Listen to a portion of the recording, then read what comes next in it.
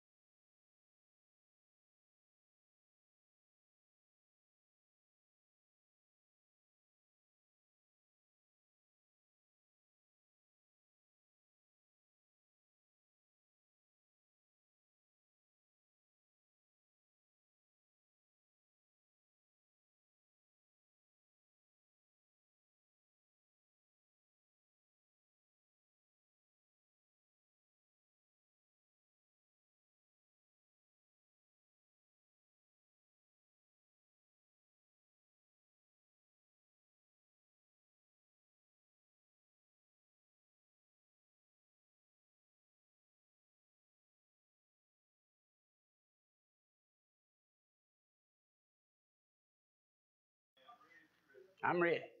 All right. Well, hello. Good evening. It's good to see you tonight.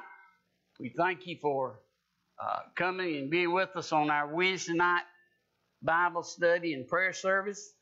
And uh, we always do our, since we've uh, gone where we're on the YouTube and the Facebook, where we do the Bible study first and then the prayer and, and, and, and, and time like that, the last half of the service. So, uh, but we just want to say before we get into our Bible study tonight that uh, do not forget, uh, you know, this is important on uh, this month uh, of, of this Lottie Moon, I mean, not Lottie Moon, but the Janie Chapman offering for South Carolina missions. let me encourage you to get one of these envelopes or either get an envelope of any kind or see Rhonda, she'll get you one. And uh, we got to get that 3,000 go, and we don't want to wait to the last minute to do that.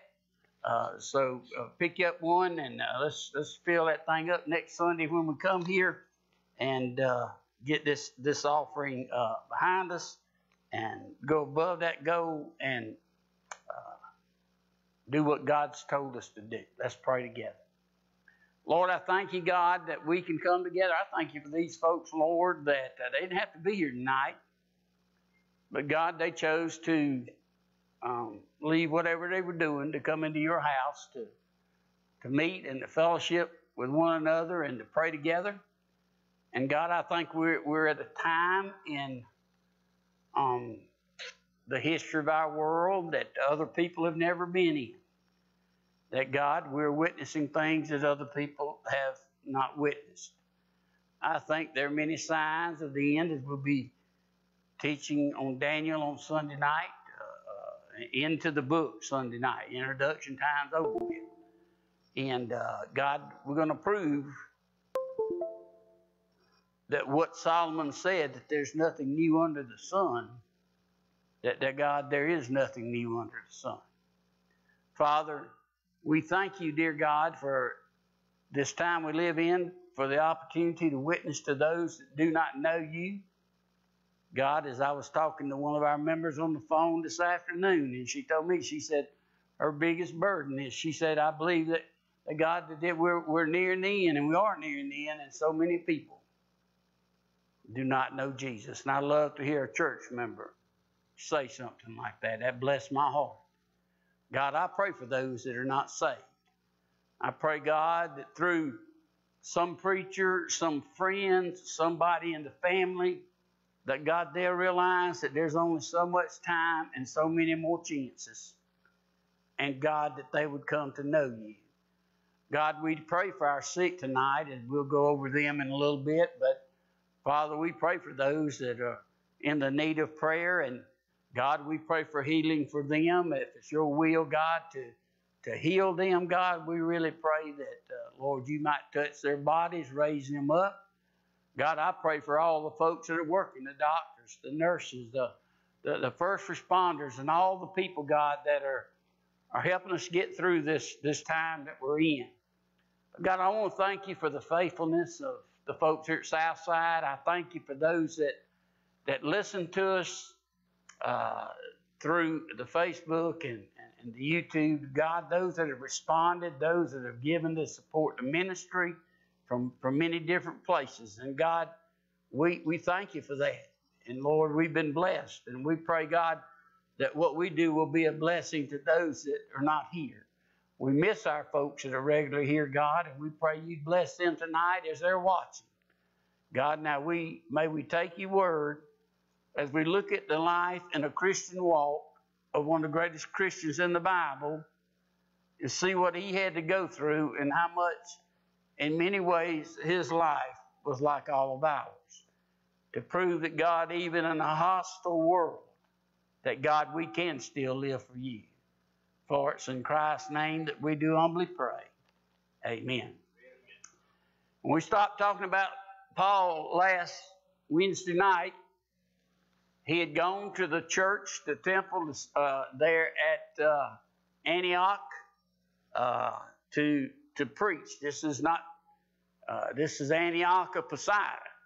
And we finished up last week in verse 41. And one thing I mentioned to you that we did, do not need to forget. I mentioned to you last week that as Paul stood remember Paul when he would go, to, and I'll, as we get a little further in the study, you'll see something a little different. It always is like that. Um, when Paul would go to a town, he would go to the synagogue, and he would always preach to the Jews first, and anybody else that might would happen to be in there. Well, in this particular, every congregation is different, just as every preacher's different. God didn't make us all the same. God didn't give us all the same people to preach to. But in this congregation, particularly, they were made up of three kinds of people. They were the Jewish, that were born Jews, raised Jews, children of Abraham, keepers of the law. And then you had what was the second group of people that was in there with them, what were called the proselytes. Now, the proselytes were people that used to be Gentiles. And they had got converted to the Jewish religion. They had listened to the priests and the scribes and all. And so they had left the Gentile, unbelieving pagans, and had become Jewish believers. And then the third group that you had in that congregation were the Gentiles. These were pagans, these uh, were many that had not converted to any religion, had not accepted any religion, had probably most of them not been preached to in their life, so they didn't know the Bible, they didn't know Scripture, they didn't know about Jesus, they didn't know much about anything. And so those are the three people, and, and this comes into play now. Those are the three groups of people that Paul is speaking. Now, a lot of times I get not fussed at, but made fun of because why? I might preach a little bit long sometimes, right? Not, don't shake your head yes when I say that. What's the matter with you? Now, since we've been doing this stuff live and all, it's been I ain't been going as long as I usually go, so y'all need to be happy about this. I'm gonna pretty soon think I'm a Methodist if I stay here very long and I keep preaching these little short sermons. But I shouldn't say that. That's live, ain't it? Ain't no way we can cut that out, is it? Oh my goodness. So that's the trouble. I get myself in trouble doing live stuff. But anyhow. Forgive me, Methodist. And uh, but anyway, let's look at the last verse that we looked at when we quit last week, verse 41 in chapter 13. Paul is preaching, and the previous verse he tells you you better beware of what you listen to. He says, Beware lest they come upon you which is spoken of in the prophets. Now, who's he talking about? The false preachers, the false prophets. He said you need to be aware that everybody that says they're preaching and everybody that, that everybody's not preaching truth. And so I want to make you aware. Now you got to remember you got the scribes and the Pharisees and all these leaders there that are sitting there, and I can tell you right now they're getting antsy with what's going on because he's talking to them. He says a new day coming. The cross made a difference. The cross changed things. The cross changed the message. It was the cross. And he says, Behold, you despisers and wonders and perish. Now, who were despisers? The priest, the scribes, the Pharisees. They did not, they could not stand Paul. Why? Because he said that doctrine they were preaching wasn't getting anymore. Same way they hated John the Baptist and cut his head off. And same way eventually they would kill Paul. Same way they put Jesus on the cross. And now Paul is calling them out for doing this. He said, but I look, like what Paul says. He said, but I'm going to work a work in your days. He, you, in other words, what he's saying is what? I'm not changing the message. The message stays the same in your day, in a year down the road or two years down the road, however long God's got for me to preach, he said the message will not change, no matter who sits in the congregation out there. He says, For I work a work in your day, a work which you shall in no wise believe, though a man declare it unto you. What's he saying? Y'all not going to like the message I'm going to preach, and y'all are not going to believe the message I'm going to preach. You will hear it, but you will not believe it. Now, you don't want to miss Sunday night. We had one of the biggest crowds Sunday night we ever had. Much bigger than Sunday morning was. Much bigger. And we started the book of Daniel, and you thought that was something Sunday night. You'd be here this Sunday night because we could blow the roof off this place this Sunday night. And I'm just telling you, and the title of the message is this, and it ties in with what Paul. The title of Sunday night's message as we start verse by verse in Daniel is, Why don't you listen? Why don't you listen? If you listened, you would know why, what's going on in the world today. Why don't you read? God's got it in His Word.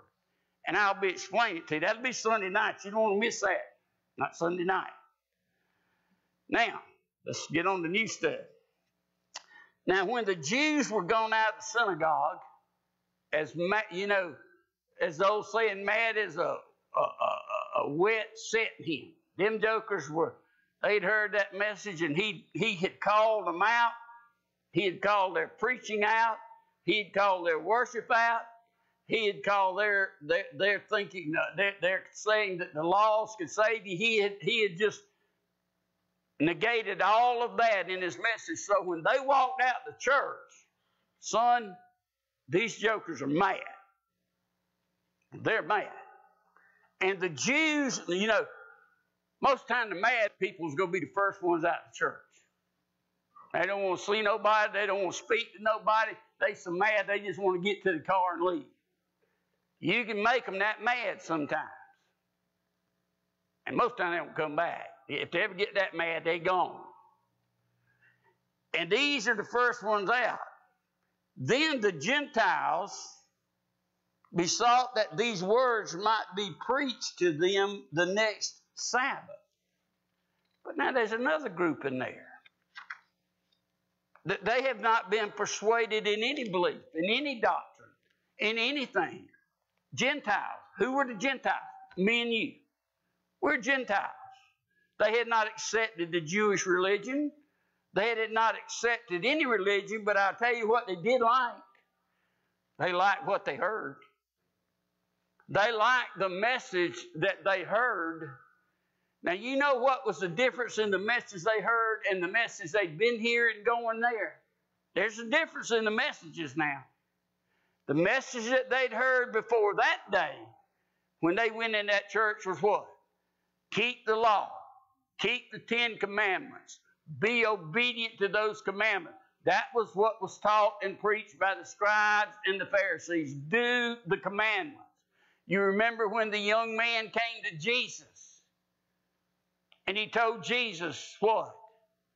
I have kept all the commandments from the days of my youth. Remember when he told him that?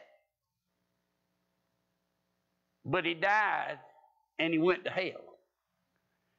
And so the difference in the message is this they taught if you believed in Jehovah God and you kept the law and you were a good Jew, then you were going to go to heaven. And then Paul comes in with his message of what? Grace. Totally different message. God, his message was what? None of you in here can keep the law. God never made but one man that could keep the law, and his name was Jesus. God never made but one man that could not sin. His name was Jesus. So there's nobody in here that can do what these men require of you to do. There's no men in here that can keep the law. There's only been one man that's been perfect, and his name's Jesus. Everybody else gets perfect by God's grace, by God's forgiveness. Where sin did abound, what did much more abound? Grace. That's right. So they're getting two different messages now. Now, the thing about it is this They like the second message better than they liked the first message. Now the Jews went flying out the door just in a in a in a hissy fit about what Paul had said. And then the Gentiles gathered and said, I like the way that man preached.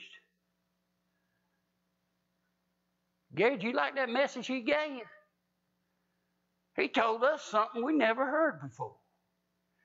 He told us that we could be a sinner saved by grace and that there was a God up there that loved us and that had died for us on an old rugged cross and would forgive us of our sins. That was Paul's message. And you know what? They liked it. They liked it so much to what? They said, let's ask him back again. Good sign they don't like you preaching, they don't never ask you back again. That's a good sign. They, ain't Brother Lynn? If you upset the wrong people in the church, you know, you and see if you go off preaching somewhere, like Brother Lee and I have done over the years to revivals and different things, you don't know who's to who who. See, most of the time in a church, everybody's got a Mr. So and so just a big shot in the church, right? It don't matter who is, you do what Mr. Big Shot says. He gives the most money, so he makes the rules, and, and everybody in the church, anytime they need anything, they always look to him, right? Well, if I go preaching there, I don't know who Mr. Big Shot is. So I just preach.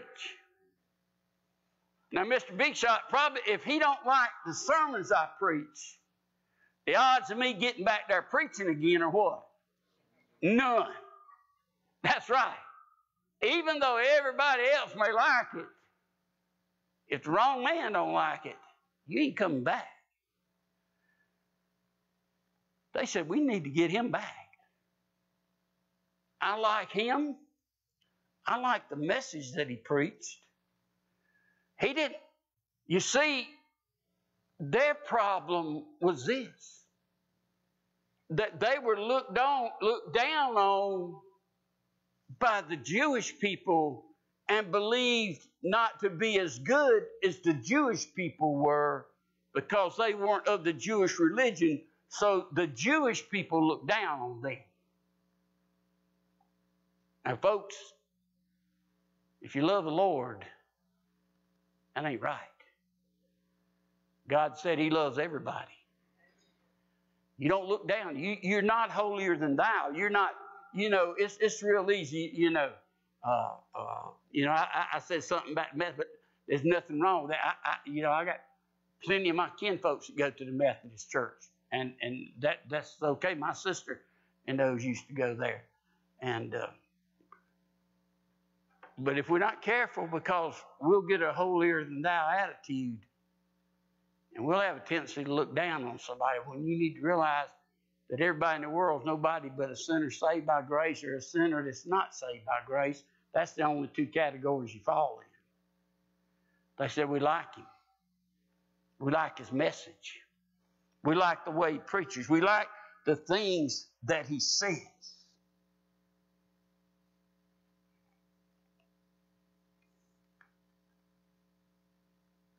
Now, the thing about this is, these people don't run the church. Who runs the church? The Jewish people do. Matter of fact, they went to church. They couldn't sit with them. They, they, had, they had a different area in the church city, and they couldn't sit with the regular Jewish people.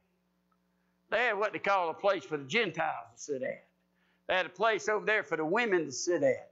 You know, uh, you, you couldn't sit together and come together to worship. So it really wasn't up to them because it was not their church. It was not they. They were almost like visitors themselves and said, "We need to go talk to somebody and get him back and let him preach again."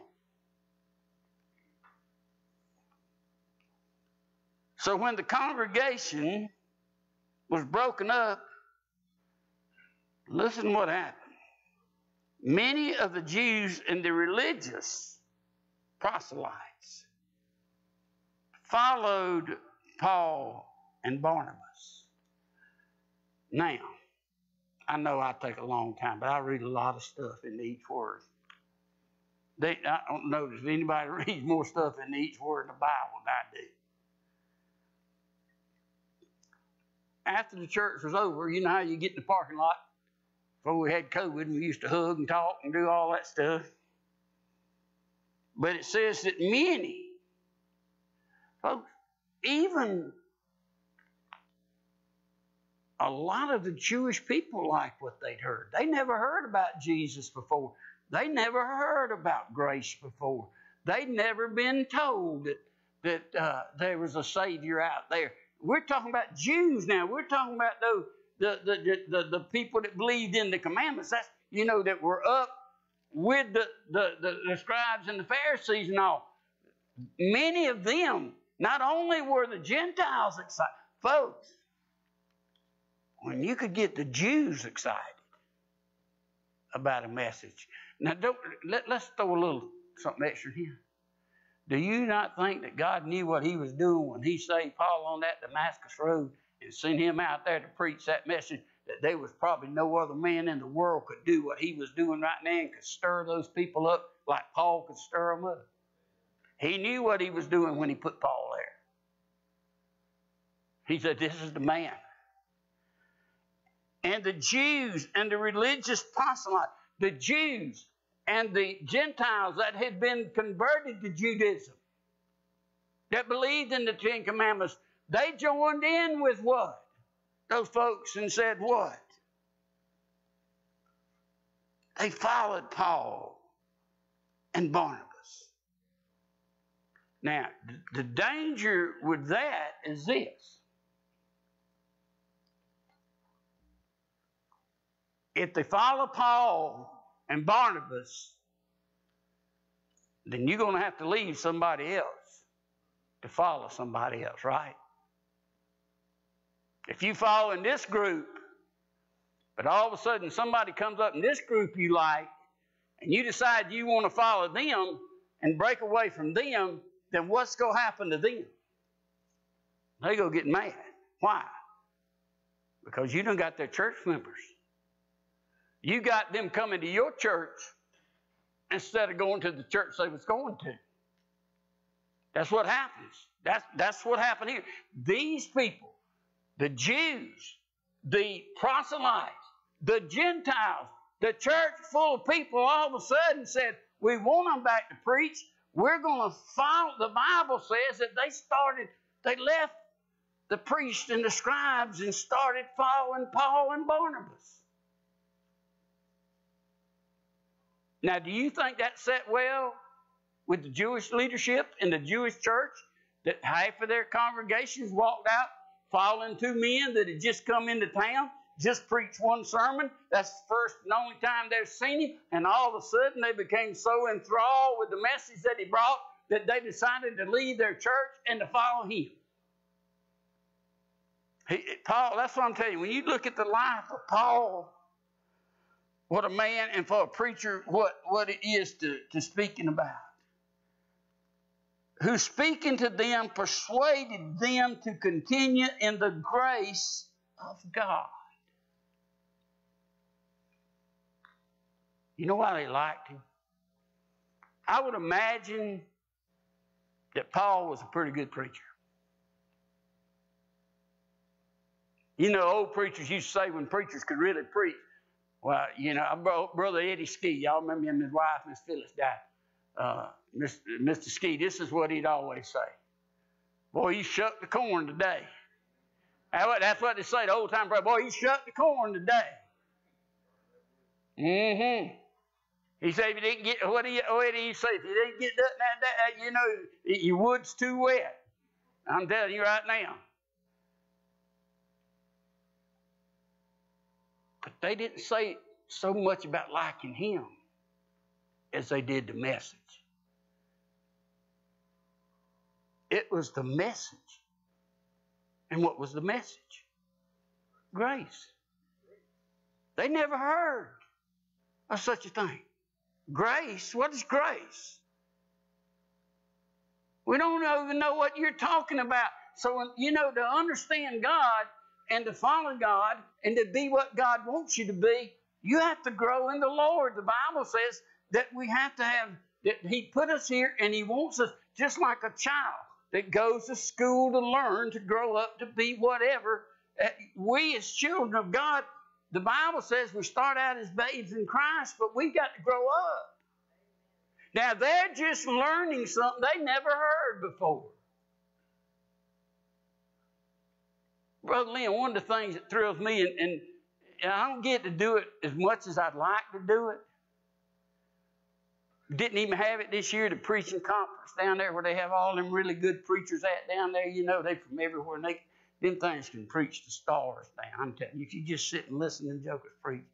And every once in a while, they'll say something and I'll say, and I'll look at them people with me and I'll say, Can you believe that? I never heard that. I didn't know that. And it'll just hit me. It'll hit me. I heard a, I was down there a few years ago, uh, Dr. Herb Reavis that, that preaches at North Jacksonville Baptist Church, huge church down in Florida. He said, I'm going to preach y'all an unusual sermon today, and I'm thinking, now Herb's on fire. Now he's going to run up and down in steps, and he's going to be all around that thing, he's going to be jumping around and hollering and screaming and going on. And uh, but I'm, I'm just telling you, uh, I've got a CD of him, and I'll let y'all listen to him one time. But he come out that day and he said, I'm going to preach on something you ain't going to hear much in the Baptist churches no more. And I said, uh-oh. Uh-oh, I like this now. And he got on drinking. And he got on alcohol. And I never will forget what he said. He said, For all these years, we used to fuss and point our finger at that denomination and at that denomination and at that denomination because they told everybody it was all right. But he, this is about six or seven years ago. He said that. He said, but you mark it down. It ain't going to be long before the Baptist church and the Baptist preachers are going to be okay with it, and our churches are going to be full of it. I said, we Baptists ain't going to never let that happen. What a joke that was. If that was ever a prophetic message, that was a prophetic message. You wait you hear Sunday night's message. I'm going to tell you about that. People that, do, that says the Bible don't say nothing about drinking, you tell them to tune in Sunday night. My granddaddy, when I was a little boy, and we worked on the farm, my, my granddaddy, Brother Jimmy, he'd go to the liquor store and get him something him through the day. And I was a little fellow. I'd walk in there with him. I remember one day we went in there, and that fellow that owned the liquor store said, I'll tell you one thing, Mr. Holly. He said, if it wasn't for you Baptists, I'd have to shut this place down. He said, we talk about all them other people. He said, 9% of my business comes from you Baptists. Y'all sneak in here and try to sneak out where nobody don't see and now we get to the point where we don't even call it out no more. We don't even talk about it no more. You know why? Because everybody's doing it and everybody's accepting it, and the, and, and the world's come so much into the church, and we feel like we got to have church members to will accept anything they want to do now, as long as they'll come fill up a place in the pew, and we won't ever tell them that the Bible says it's wrong. That ain't got nothing to do with this here. I just thought I'd tell you that. All you out there that's sipping a cool, and you need to put that sucker down.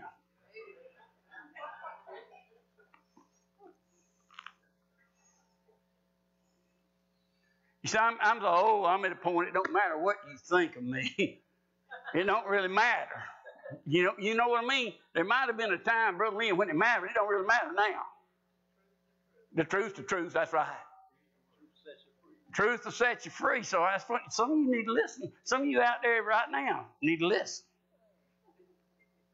Might be some in here need to listen. I don't know. But anyway, I ain't done but two verses tonight. I'm gonna quit studying. I'm gonna take three weeks off. I'm so far ahead on this. But it was the message of grace. It was not the man. Folks, if you ever get to where it's the man, you're there for the wrong reason. I hear people say, well, they follow him there because of him, and they follow him there. No, no. Nobody needs to follow me or Mother Lynn or anybody. But I tell you what, you need to go where there's a message preached. You need to be where there is life, where the Holy Spirit of God is moving in a church, where there's something going on, where when you walk out the door, you feel a little better than when you come in, right? You feel like you're being in the presence of the Lord when you get there. That's what you need to do when you go to church. And now we've become so dead in our churches. All we want 15 minute sermons. Go out there and get out of here and go and do what we want to do instead of standing there and preaching the truth, Brother Tommy. He said we like the message of grace. I like it too. And I done told you a thousand times my favorite verses of scripture in the Bible. We're seeing it abound grace the unmerited love of God. Do I deserve grace? Do I deserve for God to, you know, if I got what I deserved, I'd be dead today. If I got what I deserved, I'd be in hell today. But thank God I'm not going. When, when like that song that, that Martha Cribb sing it sometime, and I, I listen to it coming here tonight. When he was on the cross, I, 2,000 years down the road, I, you were on his mind. And he said, if you'll come by my grace and my blood, I'll accept. Hey, I like that message too. I like the message. I, I done told you this story, but I had a friend of mine was a, a teacher down at New Orleans Theological Seminary. And there I went to meet him one day at his house. He, his sister lived up in Kershaw, and, and he'd come there, and, and I went to see him, and he taught. He had a little church out, outside there, and he taught at the school. And I never will forget. And I got a message that wrote somewhere, and this is what he, he told me. And I got the older I get, Brother Lynn, the more I get to thinking about this. That's why I'm talking about it so much. He said, Jimmy, let me tell you what's going to happen in the church. They're going to quit preaching about the cross. He says, the longer it goes, they go get way out there about all stuff and they go quit preaching about the blood. And they go quit preaching about grace and mercy. And they go quit preaching and they go just tickle ears. He said, The thing that scares me most about the church, and he's a teacher at one of our seminaries, is we're raising up a bunch of preachers that one day will quit preaching about the cross. And when you quit preaching about the cross, you might as well cut the lights out, turn the sign off, go home, and don't worry about coming because nothing else matters but the cross anymore.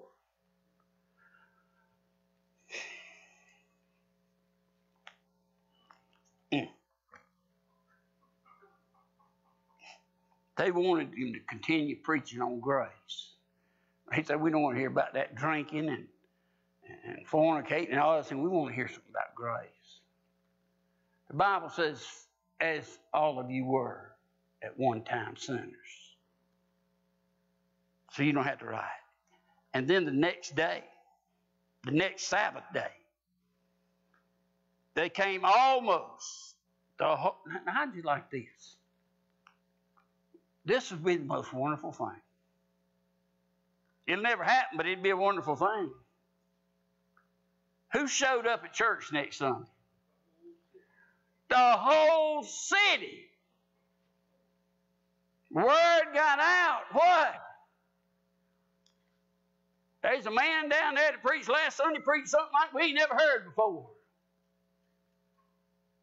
Y'all need to go hear the message of grace. Y'all need to go hear this that God loves you, and if you don't get saved, you can't go to heaven. And that's the message he's preaching. And you know what happened? Almost like Jonah uh, when he went there and he preached, and the whole city came and got saved. Man, next Sunday it was standing room only. They couldn't put them all in the church. They couldn't see them all. They didn't have COVID. I don't know what they'd have done if they'd had COVID. They'd have had to spread them out in the woods around the church and put a loudspeaker up on the church. The whole city showed up.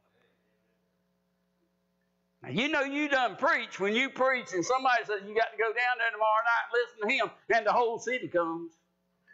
See, what you need, you need the mayor and you need the, the, the councilman and you need the, uh, all the leaders and, uh, uh, you know, and all this stuff that allows all this crazy stuff to go on. They, they need to come too. ought not say that live. But one good thing though, the sheriff lives right down the road from me. I'm in good hands. He's my buddy. The whole city came together for what purpose? And I'll stop there. I did do three verses tonight. Praise the Lord. I ain't got to study again for three weeks. Because I'm already way over here. And I'm just now right here.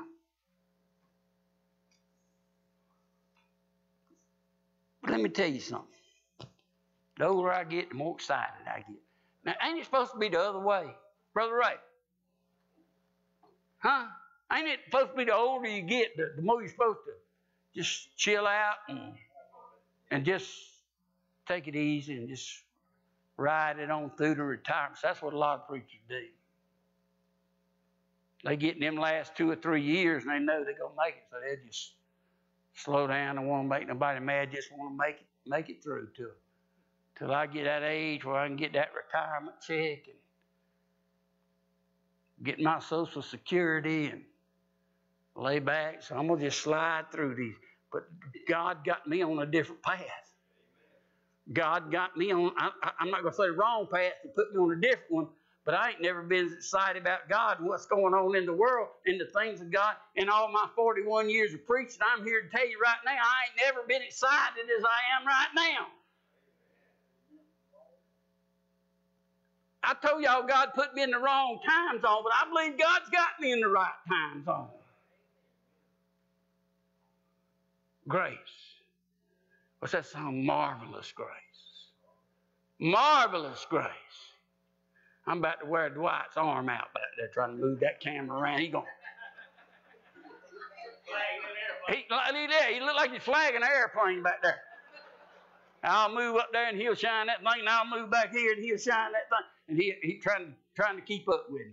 He better glad I ain't 40. He, he, he, he'd have he'd have what you call that stuff when you wrist mess up? Carpal. That, that, that's what he'd have, just trying to follow me around. We got to quit. I'm gonna tell you what, I had a, I was kind of down for before I come here tonight. I don't know why. Don't ask me why. Whew, but I tell you what, if ain't nobody had a good time here tonight, Jimmy Holler had a good time. And that's when I come to church to do. Let's have our closing prayer. Thank you for watching us. May God bless you. God loves you. He died on the cross for you. And anybody that believes in the grace and forgiveness of God can be saved and go to heaven tonight. There is no other message, there is no other way than the Lord Jesus Christ. All I said tonight is what? About the message of the cross of Jesus. That's what they like because that they need why? Because they finally realized that was the answer they've been looking for. Let's pray. Father, thank you for the night. God, thank you for grace that saved a wretch like me. That amazing grace that we sing every Sunday morning. Because I once was lost, but now I'm found, thank God. Was blind but now I see. And God, I thank you give me sight. And you give me sight to see the wonders. And God, as old as I am, you, you still are growing something there, God, that I that I didn't know that I had in me. I wished I, I knew I had it, but God, I guess I had to get old to get it. But God, I thank you for it. I pray for our sick tonight. Bless them, God. Thank you for those that watch tonight. May you bless them. For it's in Christ's name we pray. Amen.